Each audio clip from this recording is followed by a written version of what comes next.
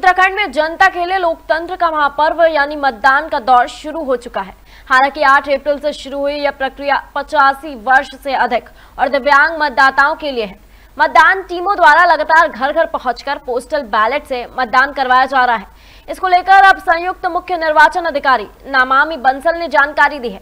नमामि बंसल ने बताया कि पोस्टल बैलेट में दो श्रेणी थी, जिसमें सभी जनपद में पहली दिव्यांगजन और पचासी से ज़्यादा वर्ष के मतदाताओं की होम वोटिंग की प्रक्रिया दो चरणों में पूरी हो चुकी है। उन्होंने बताया कि जो मतदान कर्मचारी हैं, जो पोस्टल बैलेट के लिए योग्य हैं, वो सुविधा केंद्र माध्यम से मतदान कर रहे हैं।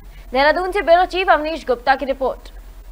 देखिए पोस्टल बैलेट में दो कैटेगरीज थी। एक तो जो हमारी होम वोटिंग की जा रही थी, दिव्यांगजन और जो हमारे पिचासी वर्ष की आयु से अधिक के मतदाता हैं, उन सबकी दो चरणों में होम वोट की प्रक्रिया पूरी हो चुकी है सभी जनपदों में।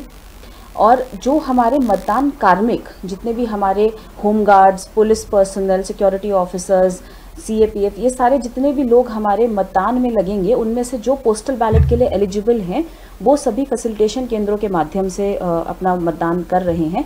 वो अभी सेकेंड ट्रेनिंग के दौरान भी प्रक्रिया चली है और अब क्योंकि कुछ जनपदों में आज से थर्ड ट्रेनिंग शुरू हो गई है और कल से कुछ अन्य जनपदों में शुरू होगी तो वो प्रक्रिया थर्ड ट्रेनिंग के दौरान भी चलेगी।